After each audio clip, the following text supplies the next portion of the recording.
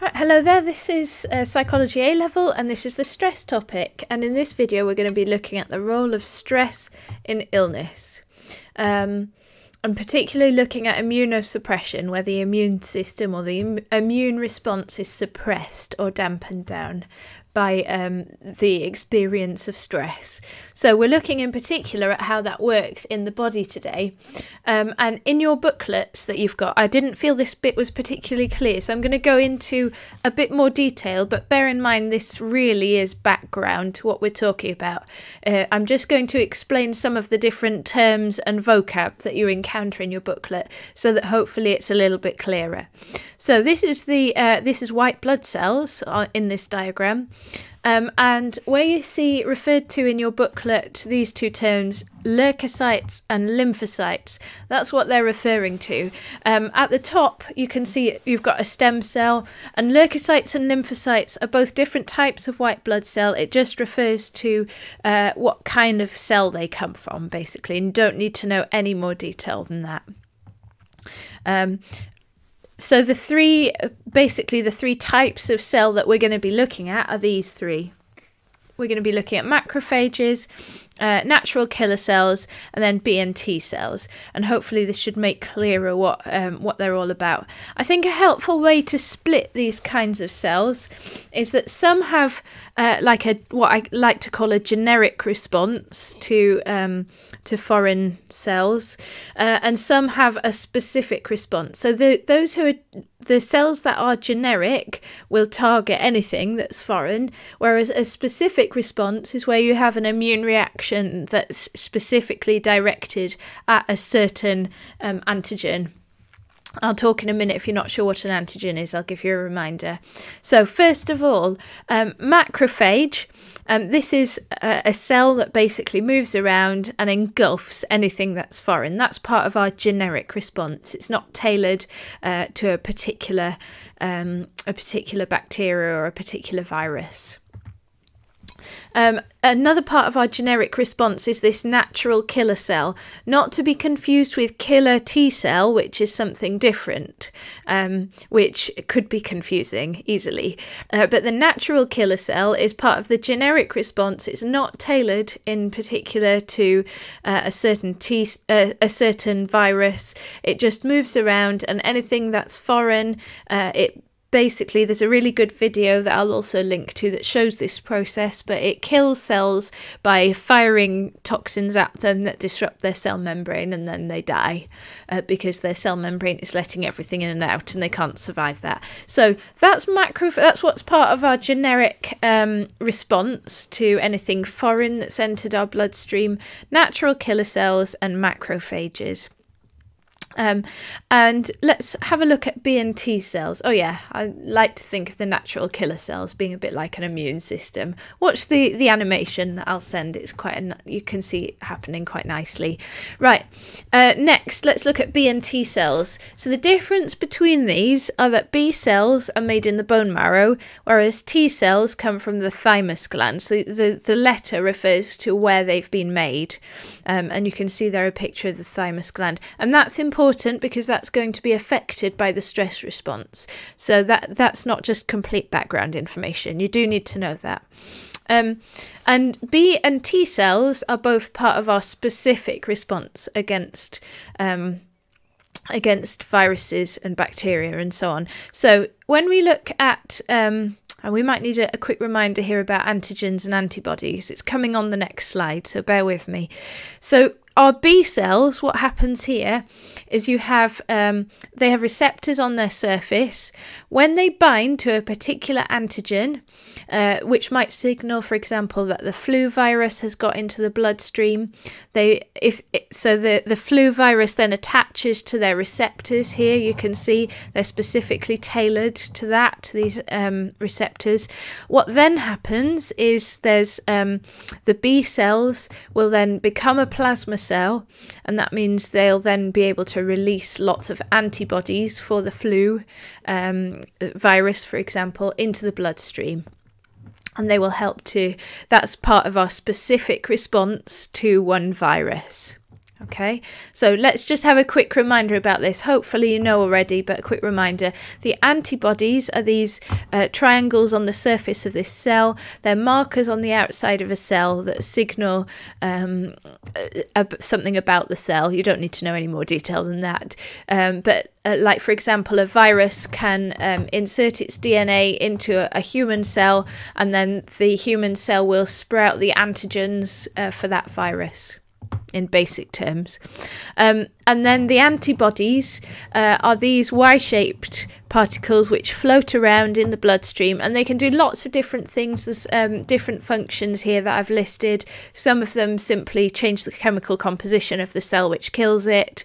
Uh, sometimes it stops um, foreign cells being able to get into body cells. Sometimes it helps them to clump together um, so that they can then be engulfed by macrophages. So that's just a quick reminder. Um, and then let's have a quick look at T cells. So killer T cells uh, will again identify specific antigens they'll bind to the cell and then blast it with toxins. Um, and they're sometimes also for that reason called cytotoxic t cells because they kill the cytoplasm in, in cells with toxins so cytotoxic. And um, again i've given you a, a cool animation to watch for this so you can see it happening. Um, the second type of T cell that we need to know about is a helper T cell, which we've already seen when we talked about B cells a minute ago. They help um, basically pr production of B and T lymphocytes and they help antibodies to be produced uh, as part of that. And then the last type, memory T cells. These are the ones that store the information, they remember the antigens, which means the next time you get that same virus encountered, they can respond quickly and kill it straight away, which is, as you know, probably know how vaccines work. Okay, so that is our background then to the immune system, and hopefully that makes things a little bit clearer. How does this relate to stress then? That's obviously our key question since stress is our topic. So, the way this works is that you have uh, basically the physiological change when you have your stress response when fight or flight kicks in uh, first of all it takes as you know it, it removes any non-essential functions in the body. So things like digestion are stopped. That also applies to the immune system because actually if you're um, gonna like fight if you're fighting a tiger for example if we're thinking about silly examples of the fight or flight response, um, you you do need an immune system, but it's more important to win against the tiger now. Like you might catch a cold in a few days, but that's okay. So if they dampen down the immune system um, when fight or flight happens. So yeah, it's not functioning effectively. The first thing to note is that cortisol, which as you know is an important uh, hormone released as part of the stress response. Um, it reduces the body's immune response straight away. So it makes more likely that someone will become ill.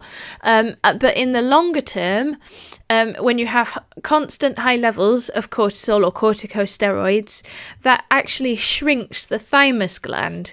So then you can't have T cells growing as much. And if you remember what we've just talked about, that T cell response is really, really important in terms of our immune response. Um, really important because it's going to have that specific response that's fast and that's uh, the memories kept of it. Uh, and it's also helping that B cell response, the helper cells also affect the B lymphocytes. So that is basically how stress then affects our immune system. Um, and let's have a look at some studies then about this. So the first study, this is a really um, a major study that was carried out in 1984. This is Janice Kiecolt Glaser, um, and this is a really well-known, influential study. Um, and yeah, there's a picture of her, female psychologist for a change. Uh, so, and this was a study of uh, medical students, um, and it's a natural experiment. I'm just going to bring in a few research methods terms here just to remind you and keep them going over. It's a natural experiment because it's taking advantage of something that's naturally happening, which is medical students have to sit exams. So that's an event that's happening that's not being set up by the experiment. So the IV in this experiment, they looked at a low stress time for the medical students and they looked at a high stress time. And what they did was they took a blood sample at a low stress time, which was about a month before their exams when they were reasonably relaxed, uh, before their final exams. Um, and they also took a blood sample on the first day of their final exams. Uh, and after after the students had taken two of their exams as well so particularly sorry not as well you've got two samples one is a month before and once uh, again on the first day of their final exams. So that's a repeated measures design. If you're thinking about your research methods, you're looking at the same students and you're comparing them to themselves one month before and then on the first day of their final exams. And those are called low stress and high stress samples. They also used questionnaires to assess various other things like loneliness and life events. And what they found was that the high stress sample had less natural killer cell activity. If you remember, your natural killer cells are those generic cells that travel around uh, and they just target anything that's foreign. They're really important in our immune response. So, that high stress sample on the first day of their exams, it was showing there was less activity of those really important cells. So, that supports the idea of stress negatively affecting our immune response. Then they also found various things linked with the questionnaire. So if someone was had a high rating for like loneliness, depression or anxiety, they that was then linked with a weakened immune response. Uh, more than those who were reporting less of those things. They tended to have stronger immune responses. Um, so, yeah, that's the conclusion that stress was associate, associated with a lowered immune response. So, that's kind of your key study for this topic really. It's really well known and really influential. Okay, let's look at some other bits of research that are that support this.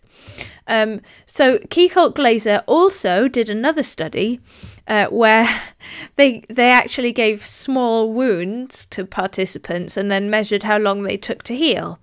Um, and what they found was that in women who had um, who were looking after um, like elderly relatives, uh, for example, people with dementia or elderly relatives with health issues, um, the healing process took longer, and they concluded that that was because of the stress involved in looking after elderly relatives, and the stress was weakening their immune system.